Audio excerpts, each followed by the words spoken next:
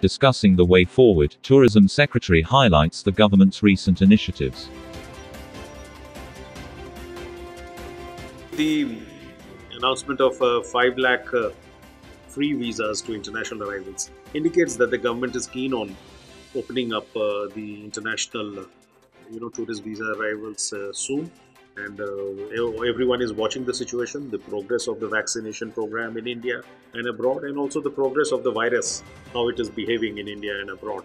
And based on that a decision will be taken but uh, this is an indication that uh, government is thinking of uh, opening up international arrivals also in this financial year.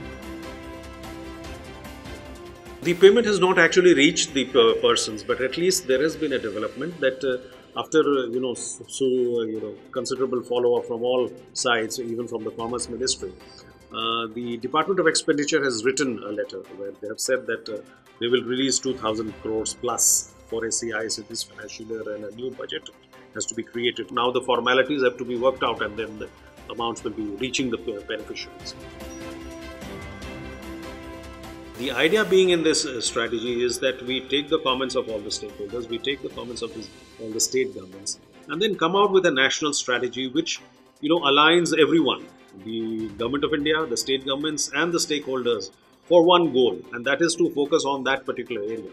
So hopefully that will help in a everyone devise their uh, you know uh, interests in that direction, and also suitable policy amendments will happen both at central, state, and local levels to achieve those goals.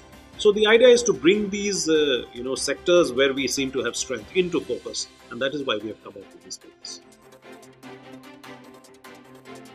Going forward, you will see more routes coming up uh, under Udan with fixed wing aircraft, with seaplanes, and with helicopters also. And that will be an area that we'll be focusing on to further strengthen the regional connectivity scheme Udan. The Ministry of Civil Aviation has uh, identified 16 routes for uh, seaplanes which is in the northeast, it is in Andamans and in Lakshadweep and in these areas. So that is one possibility. Helicopter routes in the northeast, in Uttarakhand and Himachal, these are possibilities, plus other, you know, small haul routes of fixed wing aircraft. So you'll see all those being bid out and probably awarded in the near future. To educate and inform trade about its heritage cities, Tourism Spain to organize webinar tomorrow at 3 p.m.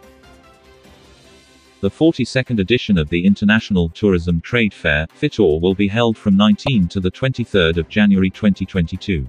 MOCA has increased the domestic flight capacity up to 65%. Etihad and El Al likely to extend codeshare partnership to include Indian destinations.